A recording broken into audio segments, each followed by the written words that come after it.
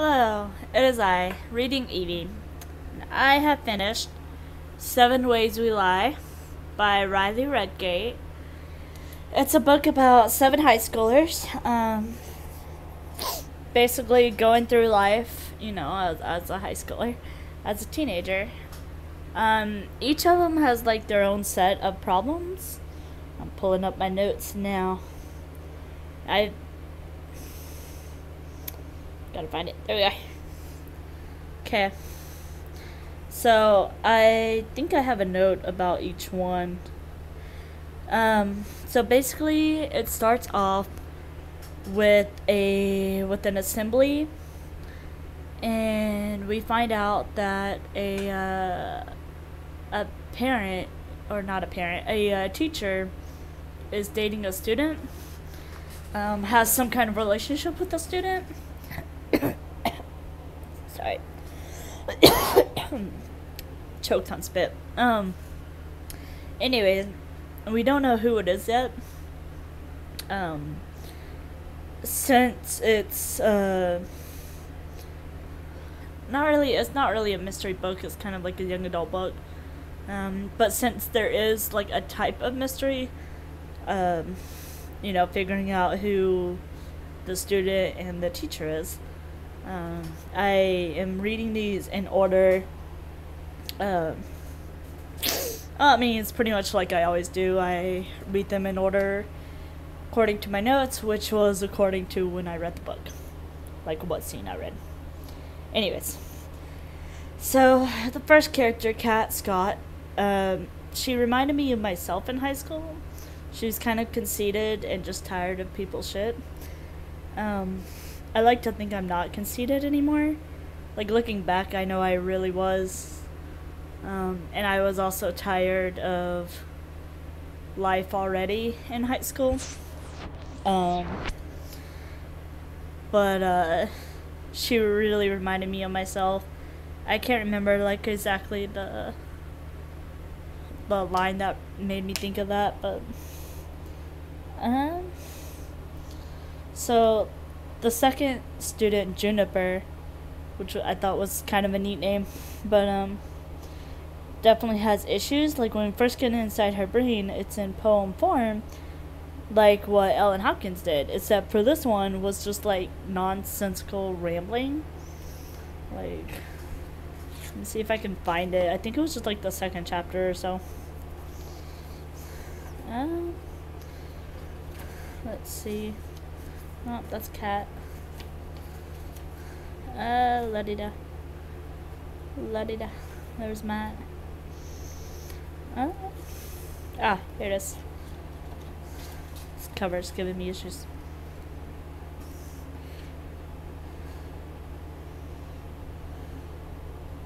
Um, I guess it's not like completely nonsensical, but it's like Finally, I am the last car here. I am an island. I returned here, tugged back by some irresistible gravity, but I hit the ground too hard. My knees are buckled, leaving me prostrate.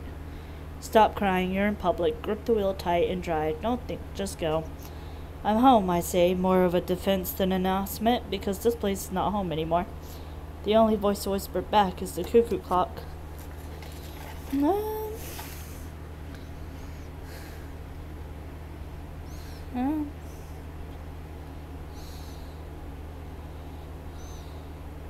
I don't know. But it was basically poetry, kind of. Which I just, I hate poetry. But yeah. So Valentine, uh, another name I liked, was talking about how there's nothing to see in their town of Paloma, Kansas, um, which is the setting uh, basically Paloma High School, kind of, but. And he, they were talking about, or yeah, he was talking about it being a small town.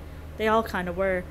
And I was expecting it, like, you know, to be really small, like my hometown Drumright, um, which, like, I think has a population of like 2,000 maybe.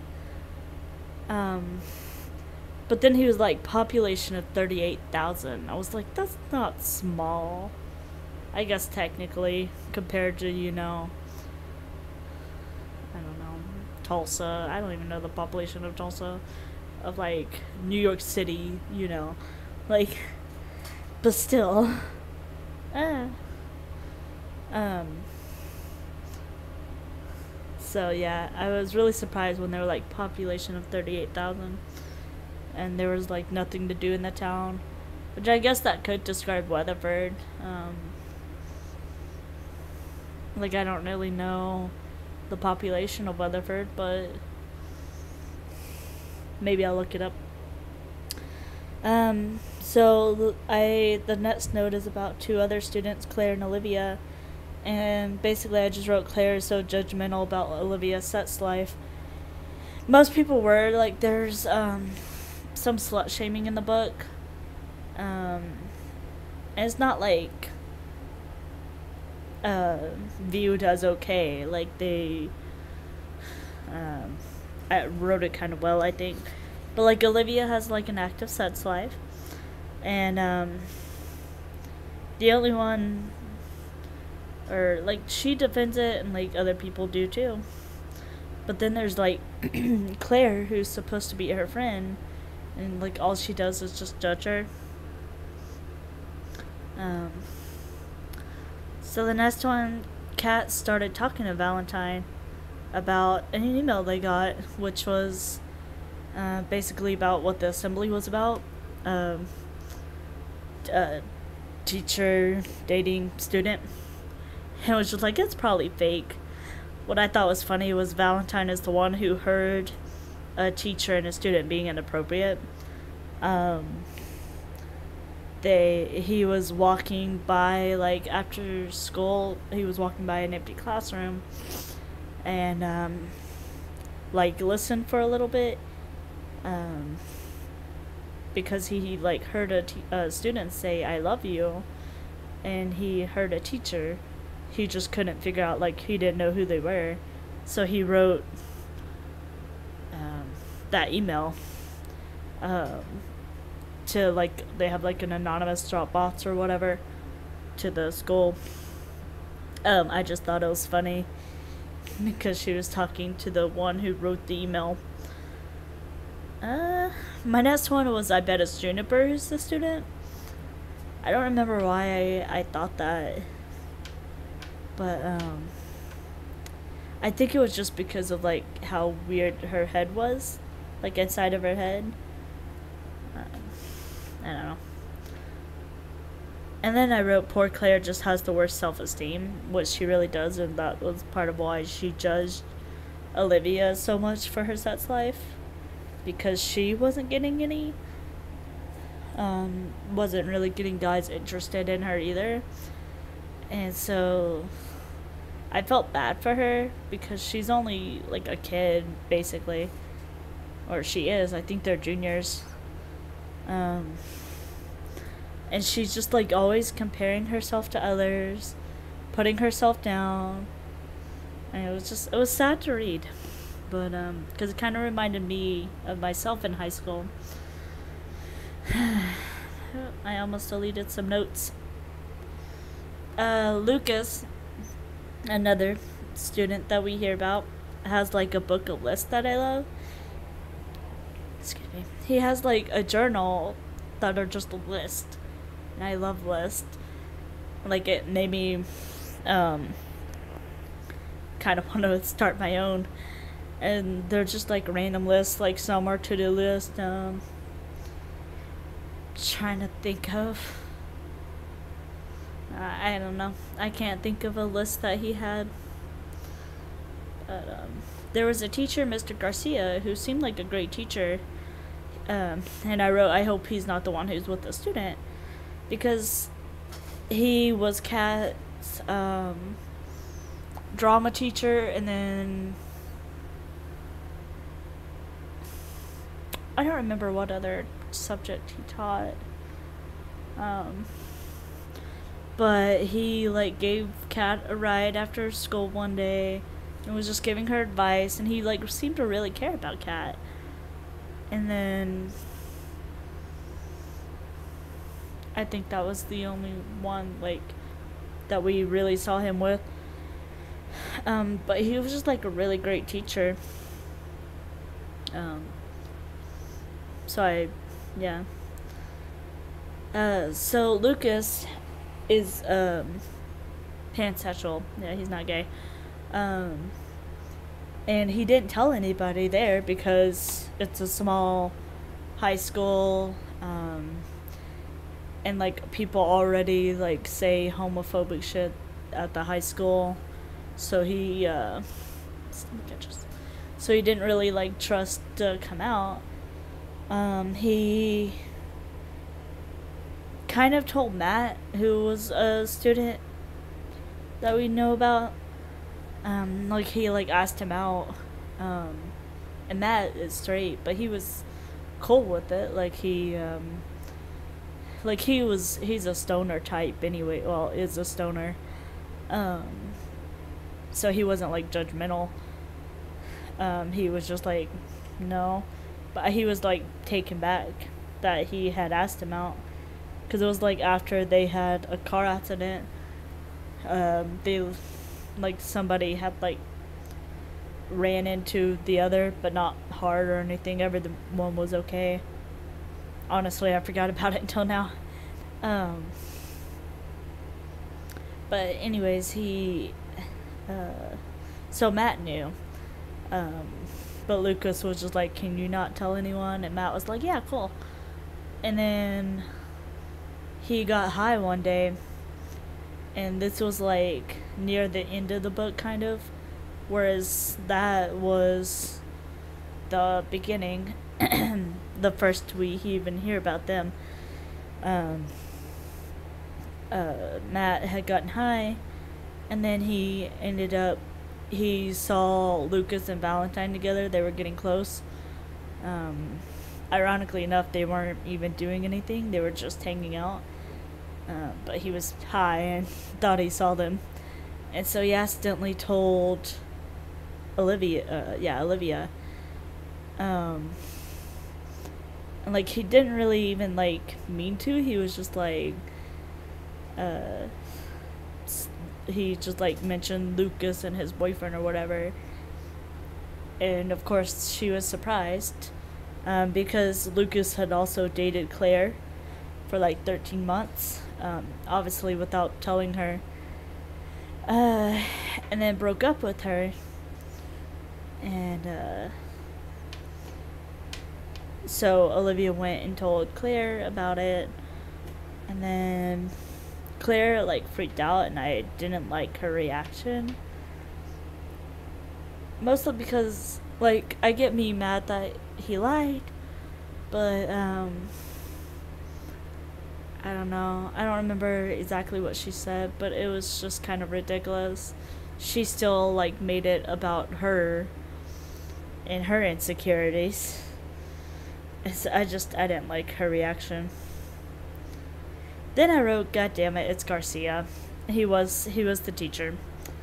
Um so Juniper like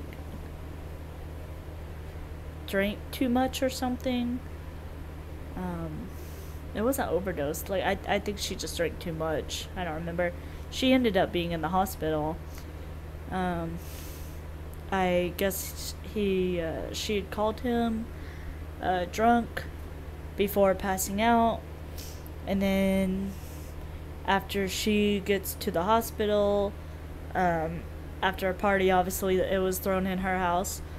Uh, Olivia, Matt. Valentine.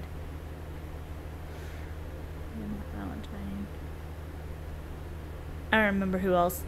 Um, Olivia, Matt, Valentine. Oh, and Kat were. Um, was Kat there? I don't know. Were left in her room to clean up the messes from the party, and uh, she had thrown up. And anyways, her phone was there, and it started ringing, and um, Olivia goes to answer it. I guess to tell whoever, basically to see who it was. I guess tell them that she was in the hospital. Anyway, she answers it, and the voice just starts screaming at her and we don't hear what they say because it's in a different person's view. But um, voice starts yelling at her, blah blah, and she was like, "This isn't Juniper," and then she was like, recognizes the voice, and she's like, "Mr. Garcia," and yeah, it was him. And then, so you know, the student is Juniper.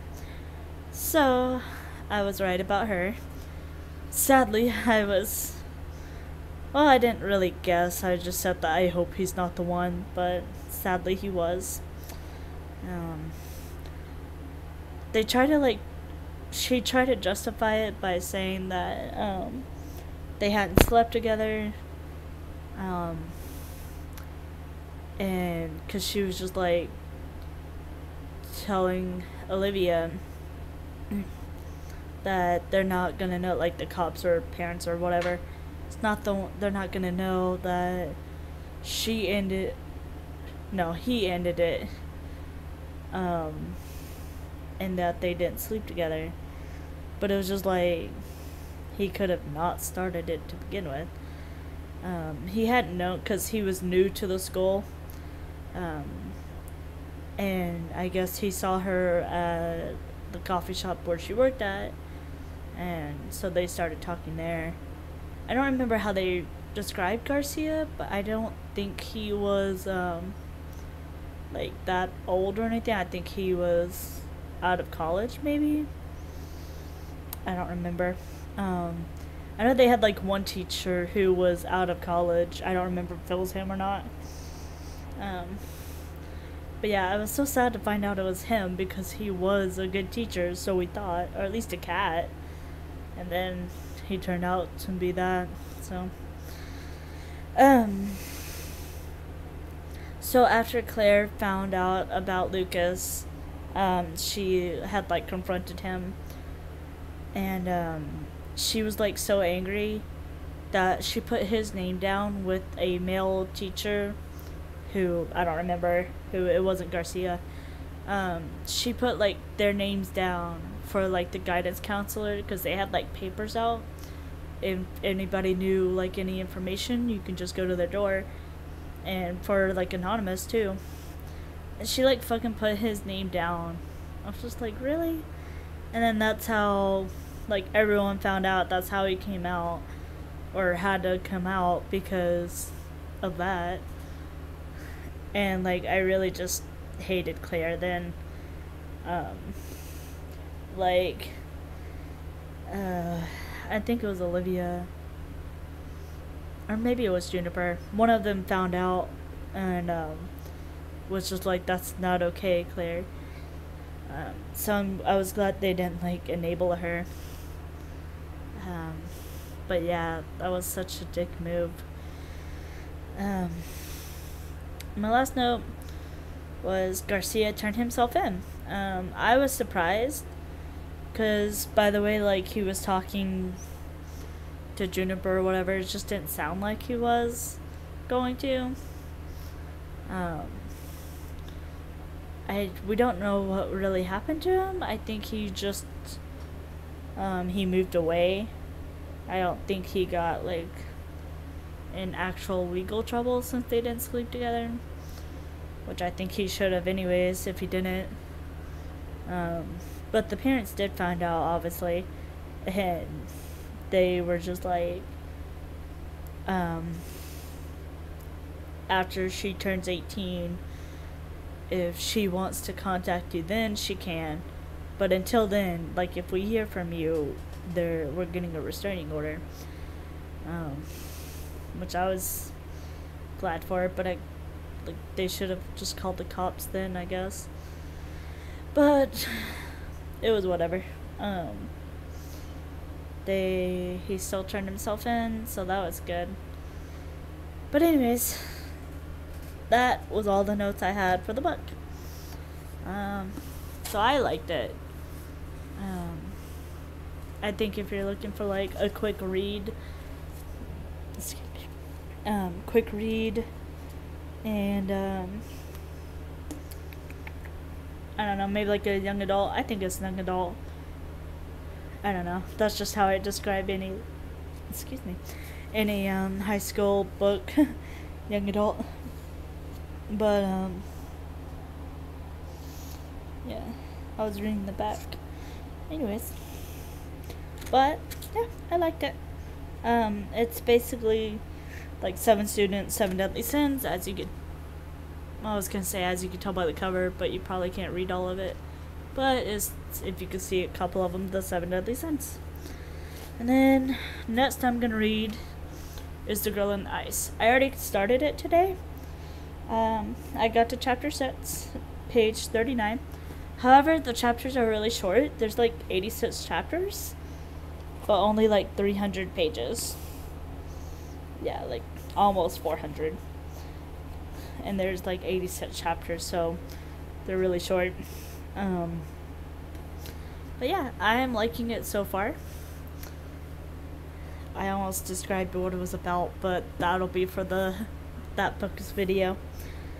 Um, if you happen to have read Seven Ways We Lie, which I don't think I know anybody who has, maybe, um, comment down below and tell me what you thought about it. Don't forget to subscribe, like, and share. Yeah. Have a good night.